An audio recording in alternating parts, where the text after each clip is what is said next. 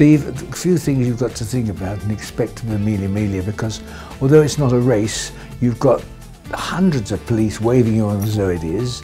You've got others who think they're better than they really are driving. So the thing is to be pretty careful, really. I'm not kidding you.